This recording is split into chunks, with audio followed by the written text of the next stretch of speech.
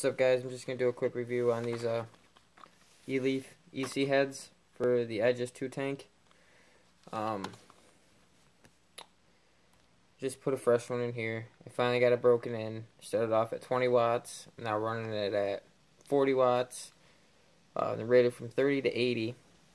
Uh, you guys can see that light ridiculous. Um, these Spire coils, the Atlantis 2 ones, are the best. They work in the iJust 2 tank, uh, the Mellow, even the Triton ones will work in it. Um, that's what I got. I got the the Milo tank. I meant to say not Mellow, Milo. Well, Mellow, Milo, whatever you want to call it. But um, just pulled the this one apart. It's right here. Just pulled it apart to see if it had real cotton in it and because uh, I don't know why it's been tasting funny. They just have a weird taste to them when you first start using them. Gotta break them in. I don't know. I didn't have to do that with these ones. Just put them in and go. You know, saturate them and go.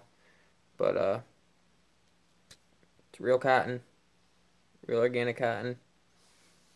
Um, they have this is the the coil. It's only like this this much. Uh, I wish I went to pulled it apart like that, but it was only like two wraps of uh, Kanthal, and the rest was nickel welded in. You know, there's your non-resistance with your resistance wire, which that could be why they taste funny. I don't know. This is actually heating up or what, but kind of had the weird taste that the nickel coil did that I had, and I stopped using because it just wouldn't go away. I don't know if anybody else has been having problems with that. Please leave me a comment. Let me know. Don't forget to like and subscribe too, because eventually I will probably be doing giveaways. Um, but uh, yeah, these coils are junk. Wasted fifteen dollars on them. Complete junk. I'll show you what they look like. I even literally had to check the authenticity because I thought they were fake. That's how shitty they were. But that's what they look like. It's got the Nice wide open bottom. You know, dual parallel vertical coil. So I was thinking, you know, put more wattage to them, get more vapor, which I do get more vapor. They don't last as long. Three days. That's all I had. This thing I had like three weeks. Two or three weeks. Ran probably 100 mils through it. Still works great. Well, no, it's been out and sitting. It tasted funny when I put it back in, but it was working fine up until I took it out, which I regret doing now and wasting my money. But uh, went to Unique E-Cigs right here in Liverpool, in uh, New York. Um, I asked for .5s because the .5s you can run 30 to 100 watt, and these point these .3s you can run 30 to 80 watts. So I wanted you know the 100 watt ones. But uh, guy picks them up. I tell him, hey, can I get some .5s of the iJust 2 coils? Goes and grabs them, brings them to the register you know, I pay for them. I told them 0.5s. And then when I look at it, I go, hey, these are marked 0.3. I want wanted 0.5s. He goes, oh, well, we don't sell 0.5s. We sell the 0.3s only. And I go, well, why did you tell me that? You know? And I already paid for them, and you can't return them. Some things you can return, they'll take like a 25% restocking fee. But I'm pretty sure with the coils, they don't take them back. So I got stuck with them, which is kind of bullshit. Going on a little rant here, but bullshit. I mean, come on. Fuck. But, uh, yeah, it's real cotton. Using nickel with Kanthal. Non-resistance with resistance wire. Non-resistance is the nickel, and the Kanthal is the resistance wire. Welded right in there. You can see it just bends so easy, and this one's just so much harder to bend, you know. So I don't know just weird. I don't. Took me forever to break this thing. It's like 10 hits for it to taste normal, and I, I put a bunch of juice in it to saturate it, to get it all primed. I probably put, let's see, probably about that much juice in the top of it, maybe a little bit more to soak it, and then I put a little bit more in the holes on the side.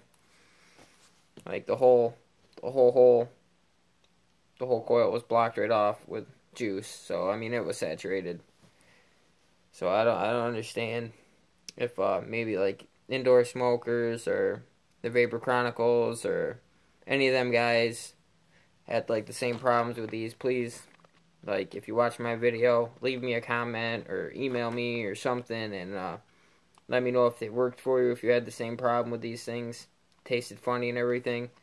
Um, I know some of the nickel coils do taste a little weird when you first use them, but mine, it wouldn't go away. I got it from a different store. I forget what the name of the store was, but they said they would replace it, but I didn't even bother with it just because I've been hearing nickel puts off like some sort of uh, chemical or something that's bad for you and create cancer if it sits in your lungs too long or something. So I didn't even bother with them. I want titanium, so I can just rebuild these with titanium because I heard the titanium is a lot better. I mean, it's like the nickel though, a certain temperature, and it will put off. It will put off bad carcinogens or some sort of chemical or something. But the nickel, just the way they taste, it seems like it is putting it off. You know, the titanium's a little different. But uh, yeah, that's pretty much it. Um, I'll show you how this thing vapes. I'm gonna do a full review on this X Cube 2 as soon as I get the app on my tablet.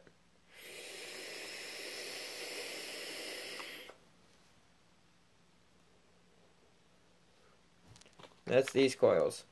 It took forever for me to get the regular taste of this juice. And I have not changed juices, changed juices.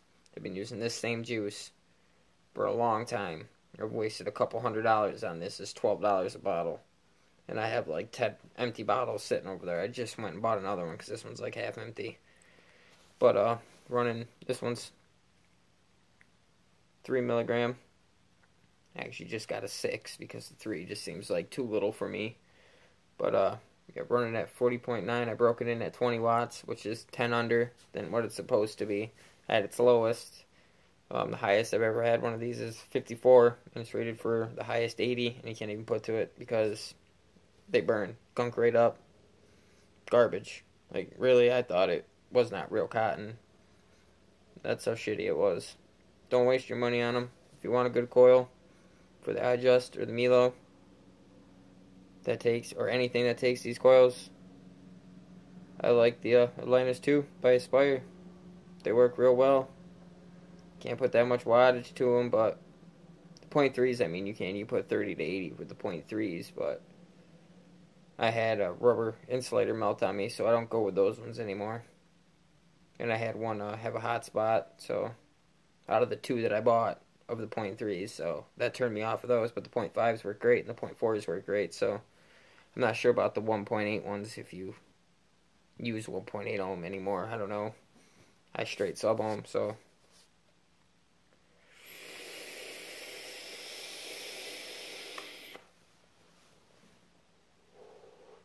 That's on its widest airflow.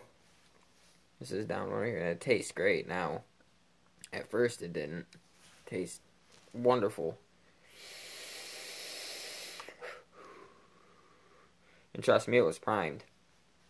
Because I was getting juice in my mouth and it still tasted bad. Like, I know it was primed. They did primer puffs and everything. It was primed. So, never had a problem with these ones.